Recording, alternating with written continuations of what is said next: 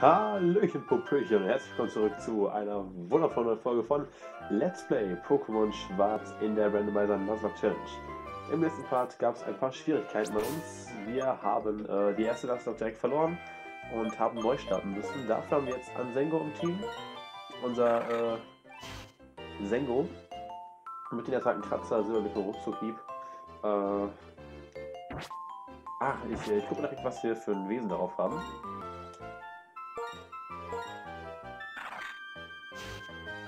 Minus Angriff plus Spezialangriff. Das ist ja großartig.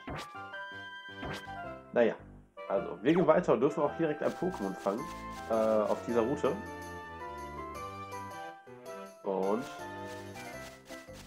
da haben wir auch schon einen Encounter. Und es ist ein... Oh, ein Makabaya. Oh scheiße, das ist Typ Geist. Ich kann das gar nicht schwächen, kann das sein? Ich bin mir ziemlich sicher, dass das Typ Geist ist. Äh, deswegen bleibt es nicht irgendwo hier als äh, vor der Pokéball zu werfen.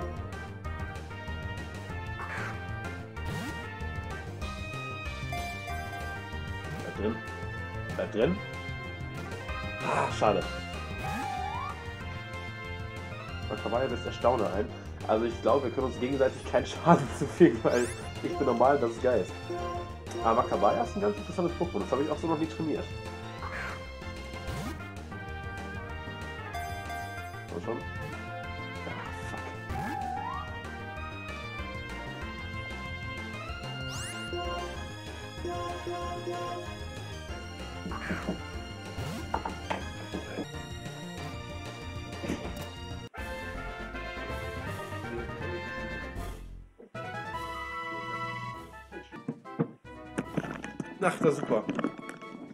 Jetzt, als ich mir einen Tee geholt habe, äh, Makabaya gefangen. Aber gut, umso besser. Ja, Typ Geist. Seelen-Pokémon. Seine Maske ist ein Abbild des Gesichts, das es als Mensch hatte. Manchmal weint es, wenn man ihm in die Augen sieht. Da habe ich jetzt einen ganz coolen Comic zugesehen. Einen Spitznamen möchte ich ihm geben, ja. Ich nenne es Creepy.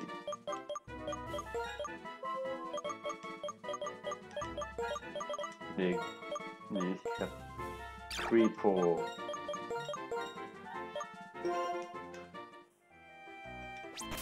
Wir haben Creepo im Team. Hat man den Bericht. Spezialangriff hoch, Initiative runter. Ist okay, Erstauner und Schutzschild hat es. Ja, warum nicht? Schauen, was wir noch hätten haben können.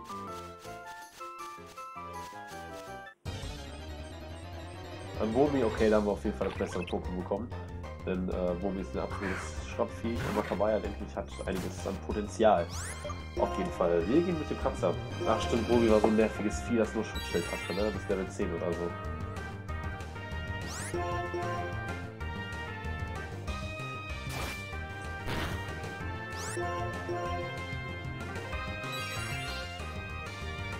Komm schon, komm schon an Dingo. Sehr gut.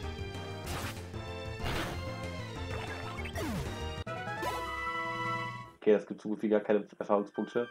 Wir gehen mal vorwärts. Und da ist auch schon Sharon. Und Bell. Ja, wollen wir vergleichen. Ich fange nicht mehr. Zwei Pokos, war alle gleich auf. Sehr schön. Der Visucaster klingelt.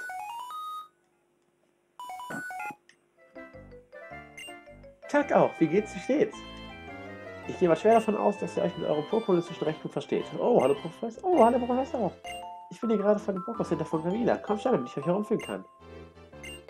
In Ordnung, dann machen wir uns auf den Weg zum Pokémon Center. Sehr schön, dann bis gleich. Ihr habt sie gehört, Freunde. Ich werde schon mal vorgehen. Ja, ihr beide geht schon mal vor, aber danke. Wir sind in Gavina und die Professorin möchte uns direkt umführen. Ich lasse sie nicht lange warten. Hallo Stroni, mit Pokémon unterwegs sein ist die Freundin eines jeden Trainers. Folge mir bitte. Ich zeige dir nun die wichtigste Einrichtung für Trainer. Ja, das Pokémon Center. Ich fühlt man sich gleich wohl, oder? Ich führe dich jetzt etwas herum. Hey, ich komme mit. Das ist das Herzstück eines jeden Pokémon Centers. Hier werden eure Pokémon nur wieder aufgepäppelt. Und nun haltet euch fest. Das alles kostet euch rein gar nichts. Denn das Pokémon Center ist der beste Verbündete eines Pokémon Trainers. Probier es ein bisschen echt mal aus, Studio. Nur gut. Okay.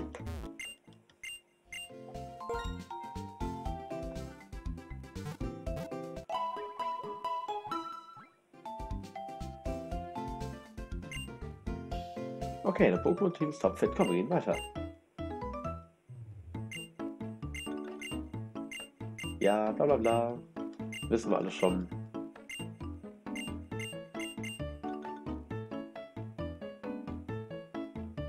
Das hier ist der Pokémon-Supermarkt. Ja, also ich finde das auch witzig. Anstatt dass sie schon mal fragen, kennst du dich in der Welt der Pokémon schon aus? Das ist doch, also, keine Ahnung, ist doch irgendwo ein bisschen selbsterklärend. Hallo. Wir kaufen erstmal 10 Pokébälle. Und wir kaufen noch ein paar Tränke. Sehr gut.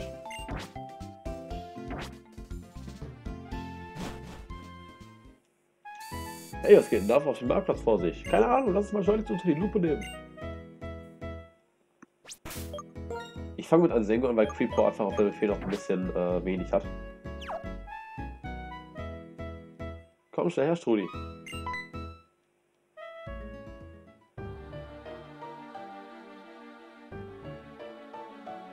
Hört mich an.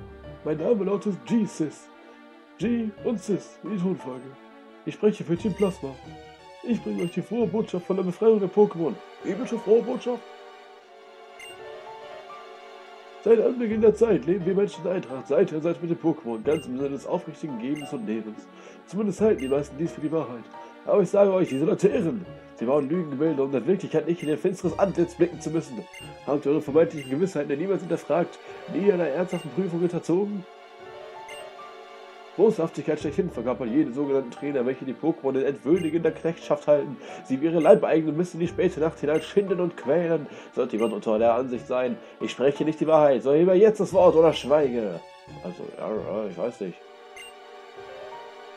Das Ding ist, er hat nicht ganz Unrecht so. Er hat nicht ganz Unrecht. Ja, wir sind böse, wir sind böse.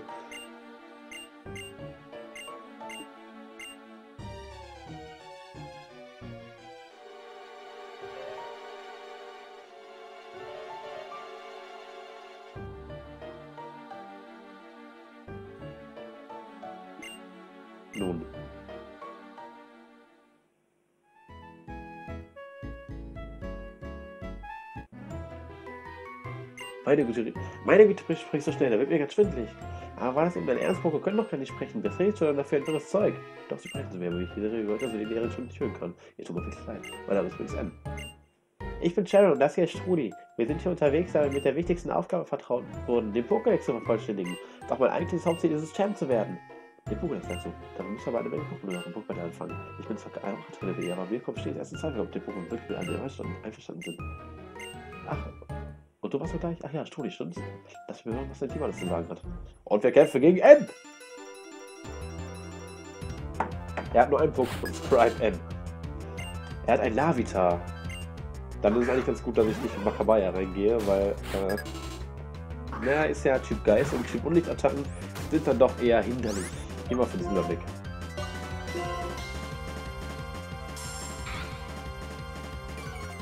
Ja, der ist auch ein Silberblick an der Klasse. Klar, dann gehe ich mal für uns Cookie. Oh, das macht. Ach scheiße, der ist Typ Gestein, ne? Oh nein, und der hat Biss. Oh, das könnte ins Auge gehen. Er setzt Sandsturm ein. Was ist das für ein Pokémon, das direkt Sandsturm einsetzt?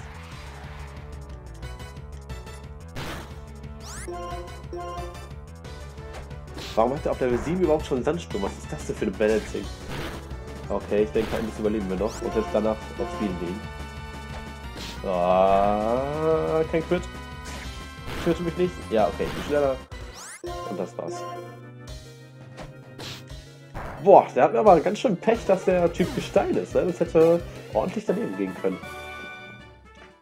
Weil der hätte Makabaya auf jeden Fall gewonnen hätte. Was für ein seltsamer Kerl, aber gib mir einfach nichts drauf. Trainer Pokémon helfen stets gegenseitig, also ich werde schon mal weiterziehen. Ich möchte eigentlich möglichst schnell gegen die Arenaleiter von Orient City antreten. Du solltest auch versuchen, die einzelnen Arenaleiter herauszufordern. Denn um ein erfolgreicher Trainer zu werden, musst du dich mit den Arenaleitern aller Städte messen. Das ist der Schlüssel zum Erfolg.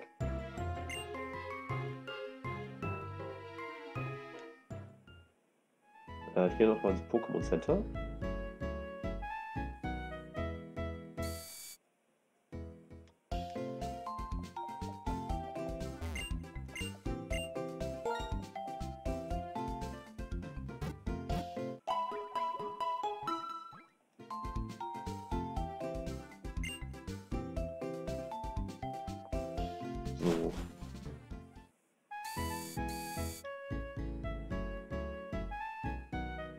Äh, ich trainiere einmal ganz kurz äh, Makabaya hoch. Dann, äh, so, da bin ich wieder. Ich habe Makabaya jetzt nur ein Level hoch trainiert, also es ist auf Level 5, weil ich muss sagen, ich hatte ehrlich keine Lust, da jetzt zwei, drei Stunden rumzulaufen. Vor allem, weil wir die Todtreter noch nicht haben. Was sich aber innerhalb der nächsten 20 Sekunden von allein erledigen wird. Denn jetzt klingelt mein Visocaster. Und meine Mutter ruft an. Strudi, ich bin's, deine Mutter. Wie geht es dir denn so, mein Schatz? Hast du dich schon mit deinem Pokémon-Team angefreundet? Ich rufe von, weil ich deine Stimme hören wollte. Und auf einmal stehe ich hinter dir. Hallo.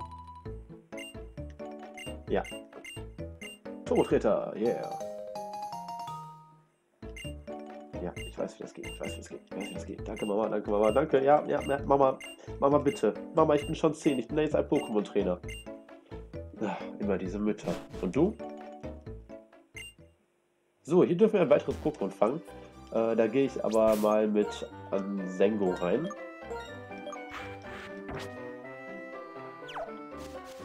Oh, es ist so, ist so schnell mit diesen Turbotretern. Und wir fangen ein Relikant. Das ist auch Typ Gestein. Wir haben ganz schön, ganz schön zu Typ Gestein, muss ich mal sagen. Also generell die Pokémon hier. Äh, ja, gehen wir von Ruckzuckieb einfach. Wir sind drei Level drüber, ich denke, das dürfte gar keinen Schaden machen. Genau das wollte ich sagen. Oh Mann, jetzt fängt er mit Härtner an. Bitte kannst du noch was anderes als Härtner.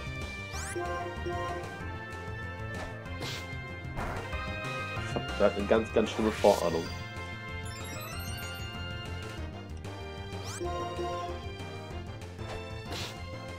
Ah, er kann Tackle. Wenigstens das. Dann habe ich einen Plan. Ich hoffe einfach, dass der nicht sowas wie Biss kann. Geht zu Creepo raus und dann kann er mir keinen Schaden machen. Ja, Härtner. Aber Härtner glaube ich 30 AP, also bis der Verzweifler einsetzt, dauert das noch ein bisschen. Oh. Oh nein, jetzt habe ich, jetzt hab ich seinen Tackle blockiert. Makabaya ist echt nicht so der schnellste Pokémon, muss ich sagen.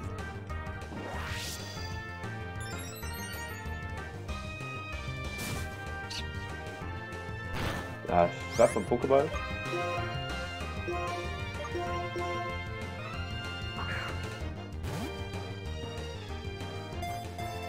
Das ist gar nicht viel. Dann werde ich den in den gelben Bereich bringen. Und werde es dann nochmal versuchen. Äh, nein, angreifen bitte. Erstauner.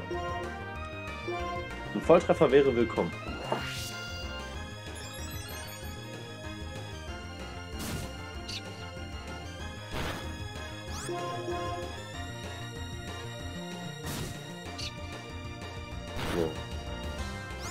Nochmal auf den Pokéball. Das dürfte jetzt um einiges effektiver sein.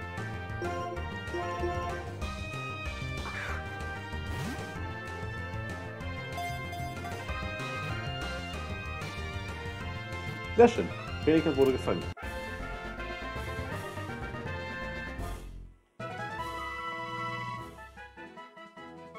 Wassergestein. Das hat sich seit 100 Millionen Jahren nicht verändert. Soll ich es Pokémon-Spiele nennen? Oh! Hm, Das ist ein Fisch. Ein weiblicher Fisch. Ein sehr alter weiblicher Fisch. Stishing. Stein und Fisch.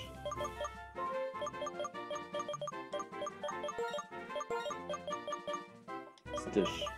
Nicht Stitch von Lilo Stitch, das ist schwul. Ohne zu sagen, dass schwul schlimm ist. Aber es ist schwul.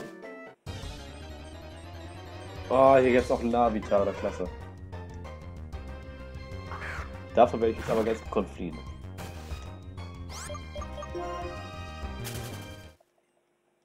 Ein X-Tempo finden wir.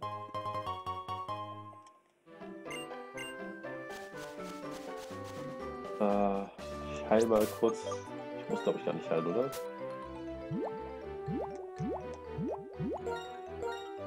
Ich mal Stitch. Oh, was hat Stitch denn für ein Item gehalten?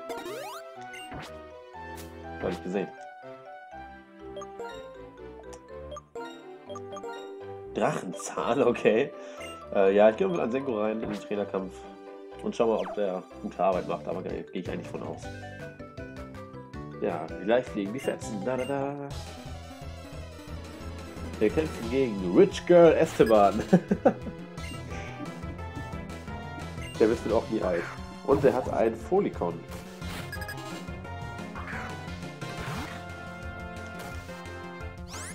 Ja, ich glaube, Ansengo wird einen ganz guten Job machen. Abenschuss, okay.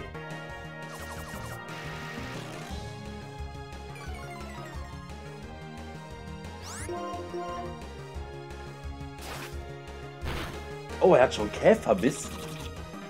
Holy shit. Käferbiss ein. Äh, ich glaube aber, das dürfte von uns aus schon reichen. Ich glaube, Polikon stirbt jetzt. Ja, sehr gut. Also sehr gut, kriegt schön EP-Punkte. Ist auch geil, EP-Punkte.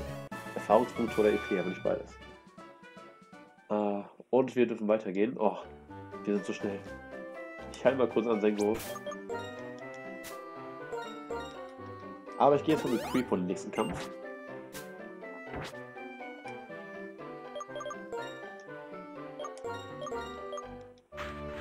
Einfach um den auch mal in Action zu sehen. Oh!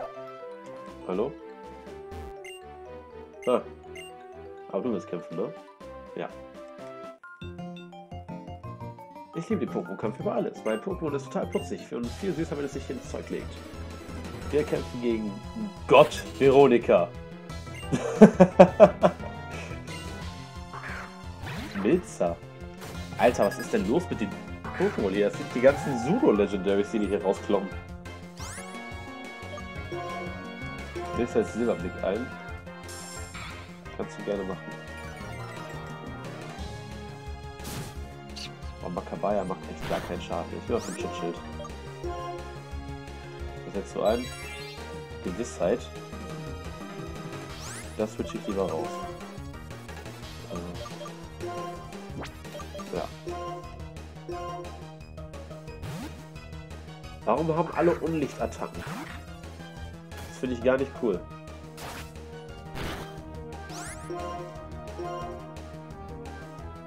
Oh, das war kein nicht mal ein Volltreffer. Ansengo macht echt starken Schaden, muss man sagen. Aber gut, er ist halt in Anführungsstrichen auch schon entwickelt. Ist halt äh, so ein Pokémon wie Lapras, das halt einfach keine Entwicklung hat. Ob das gut ist oder nicht, ist eine andere Frage.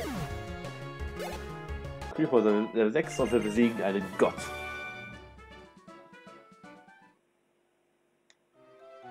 Hier werden wir in einen Kampf verwickelt gegen... Oh. Ignivor. Ignivor ist tatsächlich eigentlich ganz gut, zumindest die Weiterentwicklung.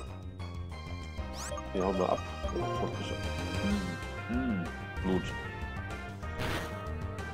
Äh, ich nehme zwar an Sengo einfach, weil der schneller ist. Und äh, dann hauen wir schön ab. Weil ich ehrlich keine Lust habe, gegen dieses Ignivor zu kämpfen, weil der hat mit Sicherheit fiese Attacken drauf. Wobei, ist Level 4 nicht Level 8. Ich gucke, ob ich den mit Ansengo töten kann. Oh, das war nicht mal ein Volltreffer. Ansengo macht so starken Schaden. Stark, ey. Richtig gut. Ich glaube, Ivo dürfte auch einige Erfahrungspunkte geben. Ja, okay, da habe ich mich mobiliert. Soll auch vorkommen. Und noch ein wilder Kampf. Oder ein wildes Pokémon, das uns bekämpfen will. Und noch ein Ignivor, super.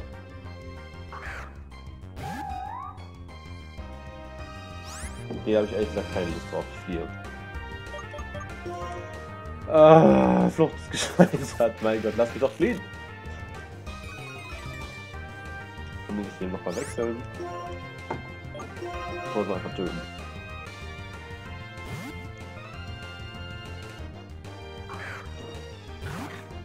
Ich trinke gerade einen Tee, falls ihr euch fragt, was das für ein seltsames Geräusch ist. Hauptsache, Inky bekommt den Burn das ist eigentlich alles gut.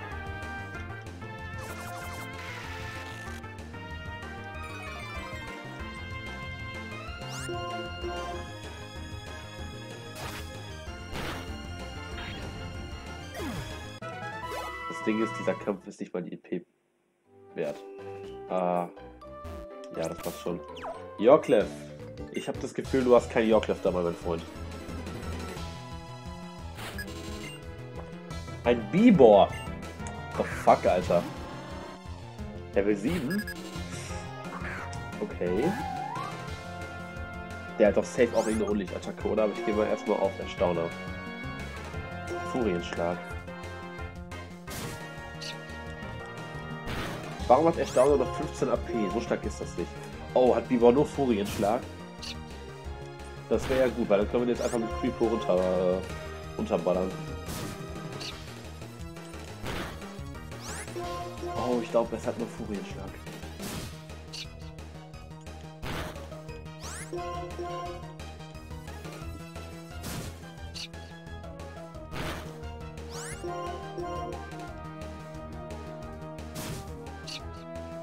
Ich gehe mal auf Aussetzen und gucken, was dann passiert. Weil es ist Furienschlag blockiert. Jetzt gehe ich auf Schutzschild.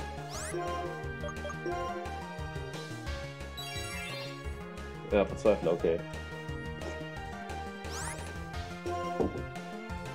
Dann der Erstauner. Ah. What? Jetzt zeige ich. Au. Es ist gut zu wissen, dass äh, Verzweifler Wirkung auf Geist-Pokémon hat. Das wusste ich gar nicht. Ich hatte gedacht, das wäre vom Typ normal. Level 8. Boah, da gibt ja aber dicke Erfahrungspunkte. Sehr schön. Creepo fast Level 9. Das ist echt gut. Hey, Trudi Rudi. Oh nee, wehe, du kämpfst jetzt gegen mich. Oh, fick dich. Jessica! Scribe Jessica. Äh, äh? Ein Vibrava? The fuck? Äh, ich heile mich erstmal. Ich habe gar keine Ahnung, was ich von einem Vibrava erwarten darf.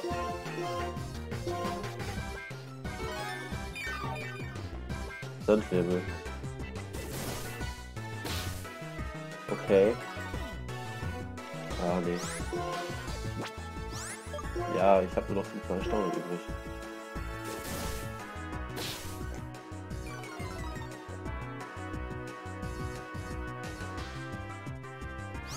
Trifft bitte nicht der Staun. Oh, Sandgrab. What the fuck? Jetzt kann ich nicht fliehen.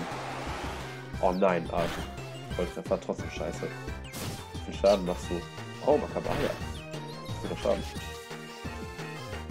Trotzdem macht mir der Schaden ein bisschen Angst, den äh, Vibrava. Äh, nein! Nein, nein, nein, nein, nein, nein, nein. Nein, nein, nein, nein, nein, nein, nein, nein, nein. Das ist sehr effektiv, das ist okay. Das möchte ich nicht. Warum hast du Finche auf Level 6? Das kann ja wohl nicht angehen. Kann ich bitte wechseln? Ah, nein, da muss ich wieder noch rein.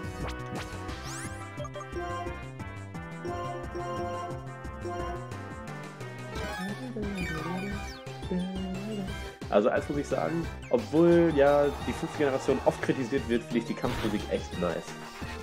Die macht schon Laune.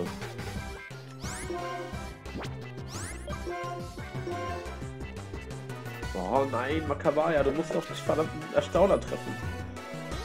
Jetzt brauchen wir eventuell einen Crit. Oh, scheiße. Oh nein, jetzt habe ich keine Erstauner mehr. Dann gehe ich mal auf ein Schutzschild. Das Handklapp halt nicht mehr weg, ne? Ja, wurde befreit und sofort raus. Auf Ansenkung natürlich.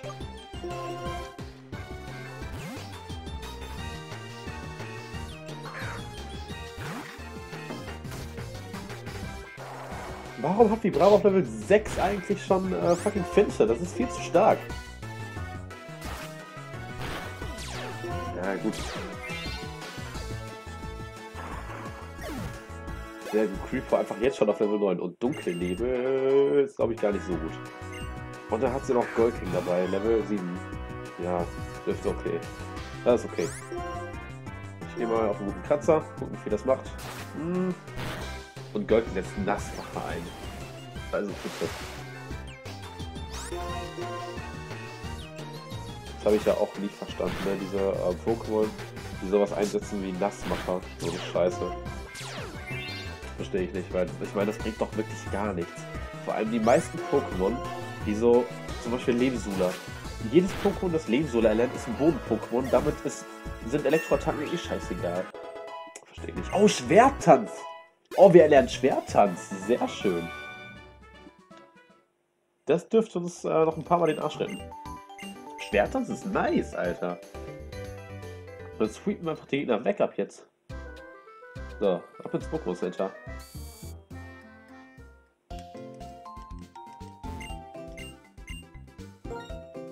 So, lass unsere Pokémon heilen.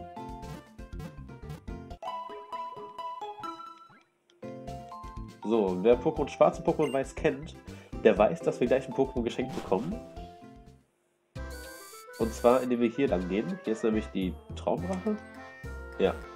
Äh, und hier müssen wir ein paar Trainer hintereinander besiegen. Und danach kriegen wir ein Pokémon geschenkt. Äh, wen habe ich gerade im Anschlag? Creepo. Ich gehe mal für Stish. Einfach nur, damit ich ein paar Erfahrungspunkte abgreifen kann. Ähm, oh, verdammt. Entschuldigung. Sorry. Äh, ja, hier trainiere ich mit meinem Team. Was hältst du von einem kleinen Kampftraining? Da, da, da, Gegen Gott, Kelly, was hast du denn dabei? Keldeo? What the fuck? Okay, ähm. Der ist doch Typ Kampf, ne? Typ Kampf und Typ Wasser, wenn ich mich nicht irre. Dann gehe ich mal zu Creepo.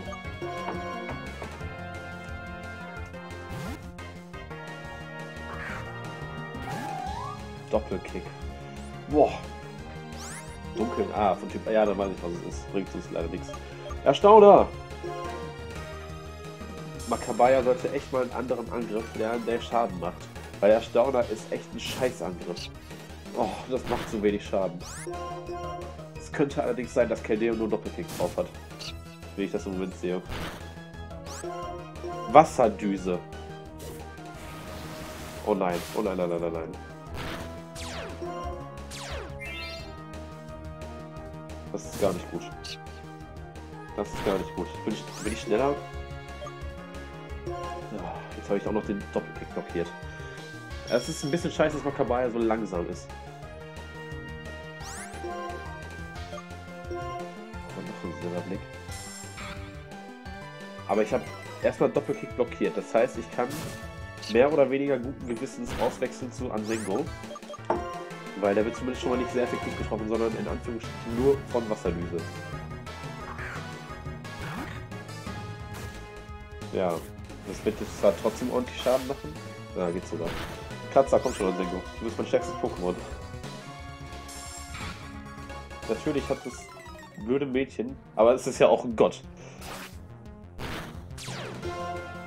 Ich mag es, wie sich Mumia durch, dieses, durch diese Battles zieht. Silberblick. Ja. Also Kedeo ist jetzt down, dann müssen wir aber trotzdem wieder rüber zu Makabaya wechseln für das nächste Pokémon. Einfach weil mit zwei, mit einer Defense von minus 2 will ich an Sengo keinen Kampf schicken. Anis erreicht wir schon Level 10, das ist sehr gut. Creeper erreicht auch Level 10, das ist genauso gut. Und Level 5 Fistisch. Und Level 6 Fistisch. Und Capoeira kommt rein. Oh nein, das ist ein Kampftrainer. Äh, ja, das ist kein Gegner für Ansengo. Wir gehen mal zum Creeper raus. Hoffentlich hat der jetzt nicht schon sowas wie Fegekick. Alter, der macht mir ein bisschen, bisschen, bisschen Schiss in den Buchse. Ah, der Schaden ist halt okay, aber mehr als okay auch nicht. Oh Mann. Creeper muss auf jeden Fall ganz, ganz dringend einen anderen Angriff verlernen.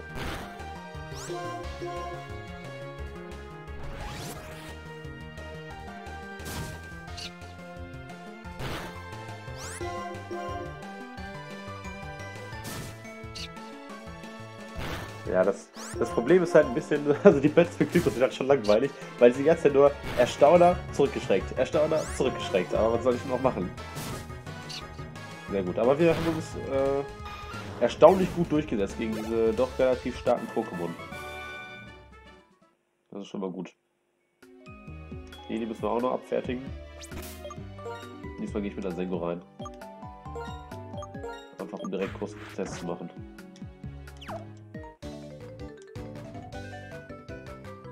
Natürlich habe ich einen Hauch einer Chance gegen dich. Aber nur einen Hauch, nicht mehr.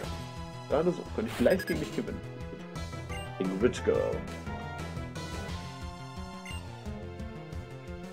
Und er hat ein Barnett. Ach du Scheiße. Das ist natürlich genau der richtige Gegner für Ansengo. Äh, das Problem, das ich jetzt mir entgegensehe, der kann nichts gegen ihn machen, also Ansengo kann nichts gegen Barnett machen. Stitch auch nicht und Creeper wird sehr effektiv getroffen. Ich muss zu Creeper wechseln. Das könnte jetzt ins Auge gehen. Geist-Pokémon sind echt scheiße am Anfang. Oh nein, und du setzt Fluch ein und Drecksvieh.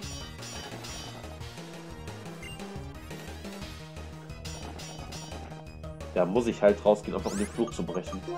Äh, ja, scheiße. So, Brainstorming. Was mache ich jetzt? Nachtnebel, Alter. Nachtnebel ist... Am Anfang geht's noch, aber im Endeffekt haben wir nur noch... Warum habe ich nur zwei Tränke? Ah, Reaper! Und nochmal Fluch. Es ist jetzt nicht tot. Fast. Über Tisch, weil das scheint nur Nachtnebel im Flug zu haben. Nachtnebel kann ich halt sozusagen genau abschätzen, wie viel ich davon ausfallen kann. Wenn ich es nochmal Fluch einsetze, ist halt Ende. Keine Schrei. Hoffentlich, also als ob du jetzt Fensterfaust oder so eine Scheiße hast. Das glaube ich eigentlich nicht. Kann ich hier? Nee. ich gehe mal für den Härtner. Ich hoffe, dass er einfach noch einen Fluch einsetzt.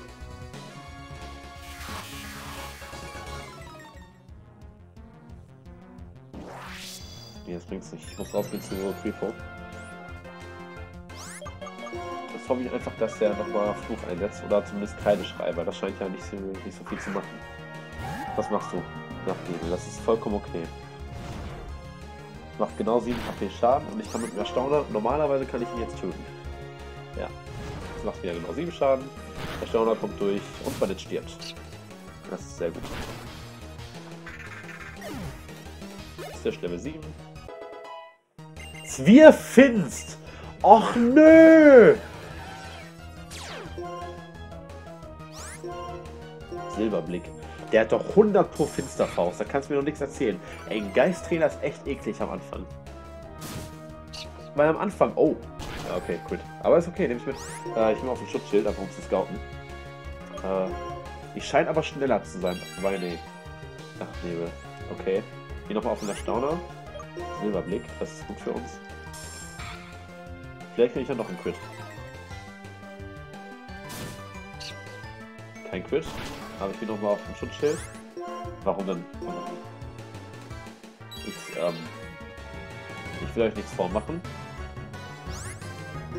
Aber das hier ist ganz, ganz schlecht.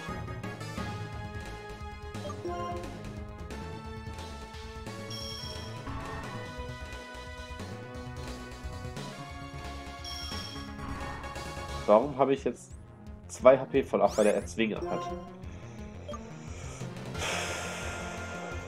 Ja. Äh. Ja, was soll ich jetzt großartig machen? Ich kann nichts mehr tun. Das ist blockiert. Ich muss. Ja, was soll ich jetzt großartig machen? Ey, das ist doch jetzt ein Beschiss. Also, ich meine, wir verlieren doch jetzt automatisch. Ich kann nichts mehr tun. Ich kann nur darauf warten, dass Sifis mich tötet.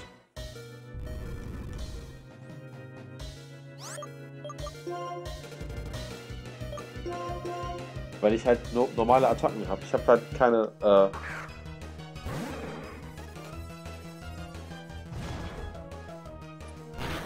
also, se seht ihr, was ich meine? Das funktioniert nicht. Der kann Nachtnebel einfach spammen und ich habe keine Attacken. Warum hat... Ja, das schneide ich raus. Also, tut mir leid, aber äh, das, das, das, das lasse ich nicht durchgehen. Wobei, wenn ich das so mache, dann ist, hat er wahrscheinlich früher...